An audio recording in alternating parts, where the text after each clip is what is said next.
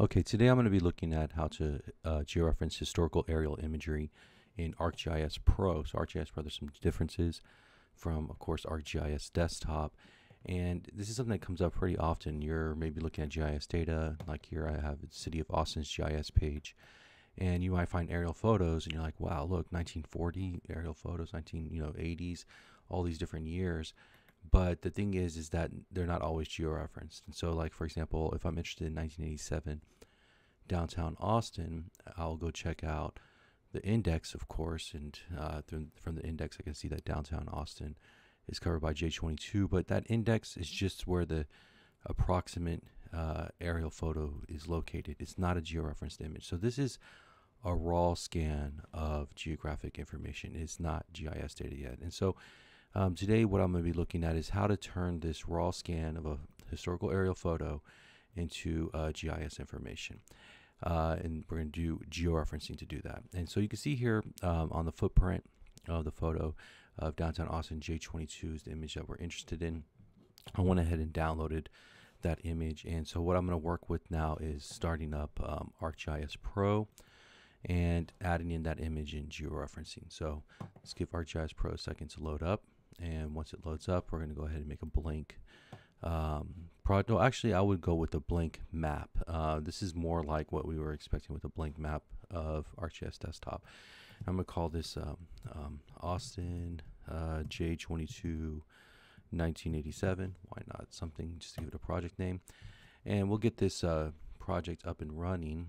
And so what we want to do here is to add in our our image, um, use the base map that's available from the from uh, ArcGIS.com, and georeference. Select points from the new, the old image with the uh, base map in order to um, see the uh, see the see uh, in order to take the spatial coordinate information and apply it through the georeferencing algorithms.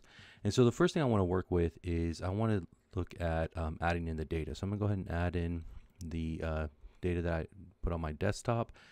And so I go here to my desktop. I can see here's 1987 J22. Be careful with these raster images whenever you double click in them. Remember you're going into the raster image and you're seeing multiple bands here. Because it's a grayscale image, it only has one band. Um, but typically what I like to do is I like to download, I, want, I like to add in the data, uh, the rasters at this point. Uh, not within the, each individual band. So go ahead and click there and don't double click, click OK. Uh, once you add that in, um, the information is not georeferenced. So where is it going to show up? Um, ArcGIS is going to place it at a familiar place for some of us in mapping called Null Island, uh, zero degrees longitude, zero degrees latitude. So if we go actually zoom in on that location, well, actually maybe it'll be easier. We'll zoom to layer here. Um, we can see that we have our image of downtown Austin, but as I zoom out closely, Look where it's located. It's located off the coast of Africa. And that's because that's uh, 0 degrees longitude, 0 degrees latitude. We know that's not where that belongs. Uh, we know that belongs in Austin, Texas. And so what we're going to do is we're going to zoom in to Austin, Texas. And with ArcGIS, uh, or sorry, Arc Pro, uh, what you want to do is you want to hold the Shift and Z button in order to get the uh, the zoom box and go ahead and draw a box uh, at the location that you're interested in zooming into. And you see as I zoom in closer and closer to Austin, um, I can zoom into that area that we saw in the uh, photo and say, oh, okay, this looks approximately right. And whenever you're happy with what you see, uh, and it looks kind of like what you had on the photo, this is where you want to apply the um, apply the apply to fit to display function under the georeferencing toolbar. So give this uh, a second under the imagery tab here on the ribbon. Go to the georeferencing uh, toolbar. Whenever you start uh, georeferencing, um, it's going to apply to this layer that's selected. That's selected. You can see here it's saying georeferencing 1987 uh, J22, and what we want to do is we want to uh, fit to display. And what that's going to do is it's going to take it off that null island and it's just going to place it here on the display. Again, is that the perfect georeferencing? It's not. It still needs some um, work. And so this is where we're going to do things like uh, moving and scaling and so forth. Uh, what I like to do is I like to move the uh, image very, uh, uh, a lot to where it gets into almost exactly the right spot. And so I can see here, uh, you know, for one particular point, and then at that one particular point, um, I want to zoom in and choose that as a control point. And so if I zoom in here and I look at the, uh, let me turn off the fit to display for a second. Uh, sorry, turn off the move for a second so I can get a clear view of this thing. Um, okay, well, yes. So you can see here that bridge right there. That's what I want to line up right now. Is the going to be the um, this is the South First uh, Street Bridge, and so if I go back to the move, uh, what I want to do is I want to click on that part of South First Street Bridge, and then I want to look for it here. So uh, let's give it just a little bit of a lag, but this should work. Okay, yes, good. And so I can see that South First Bridge is, let me move this again, right here. And so what I want to do is I want to take those two points and line them up with each other. So perfect, that's lined up. And then once I do that, I want to go ahead and to zoom in. And so uh, let's switch back to uh, explore and zoom in on that area. And so uh, right now I'm having the topographic base map. That's not the ba best base map to work off of. And so what I want to do is I want to add an aerial imagery base map. That's going to be closer to uh, something that we can use to find um, different uh, different things to corresponding points. And so when I switch that over, I can see that uh, there's the bridge and there is the uh, center island between the split of the one-way into the two-way street bridge. And uh, I think that that little area right there is a good place to uh, choose a control point. And so under, again, if I go back to georeferencing, I can say add control. And I'm going to go ahead and apply the control point from the source, from the georeferencing image. And I'm going to turn that off and I'm going to apply it to the uh, base map. And so the key here is to be uh, as zoomed in as possible. I would say even this one that I just did, I could have zoomed in a little bit closer. For the next one, let's try this a little bit more zoomed in. Uh, let's look at Congress Bridge. Is the famous Congress Bridge with the Austin bats that come out every uh, night. And so let's go ahead and uh, zoom in onto that one by again pushing Shift and Z button and uh, drawing a box that would encompass on the source layer of the bridge uh, intersection with East Cesar Chavez and of course the bridge intersection on the base map. And so if I turn off the map here, you can see that intersection quite well. And so I'm gonna go ahead and choose that intersection as the um, as the control point. And so I go back to georeferencing. Um, I want maybe actually to zoom in a little bit closer. Let's just zoom in a little bit closer here. Uh, closer the better, always with georeferencing. So I'm at a control point here at the intersection. I'm to go to the center of the intersection. And then I'm going to go to the corresponding center of the intersection here. Okay, so if I've done the first two control points well, uh, then I should find that the map, uh, sorry, the aerial photos should start lining up pretty well. And so I can see here, just off of the positioning and the scaling off those two points, I got a pretty good, uh, pretty good fit onto the base map. But what I can do is that I can choose uh, five more, uh, I need to choose, sorry, two, three more control points with a minimum of five control points in order to uh, get good um, referencing. And so what I can do now is, uh, since I have a good fit, is that I can zoom in pretty much anywhere on the photo and I'm going to get uh, corresponding points that I can choose.